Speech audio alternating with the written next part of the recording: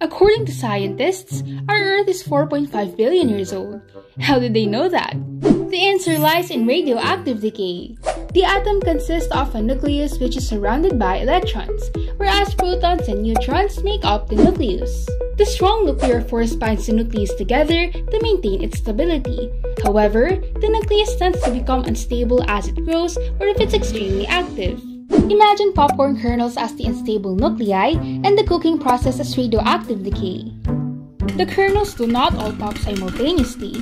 This is because the decay process is spontaneous and random, and once a kernel has been transformed into popcorn, it will not return to its original form. When a nucleus undergoes radioactive decay, it emits alpha or beta particle or gamma radiation. In alpha decay, the parent nucleus ejects two protons and two neutrons.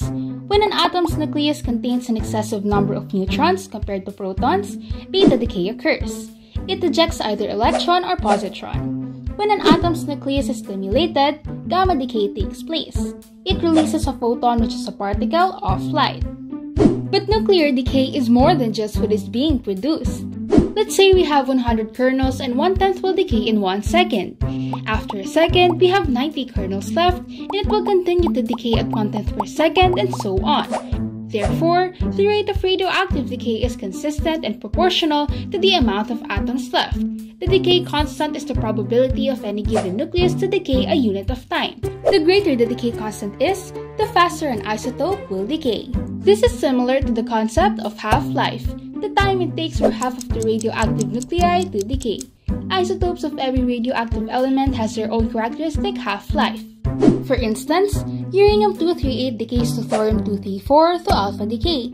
After its half-life of 4.5 billion years, half the uranium will become thorium, and after another 4.5 billion years, only a quarter of uranium is left. We can observe that it decreases exponentially in time. The decay of the nucleus is unpredictable. It can happen right now, tomorrow, or in a few thousand years though the number of nuclei in a sample that will decay each time may be predicted with accuracy.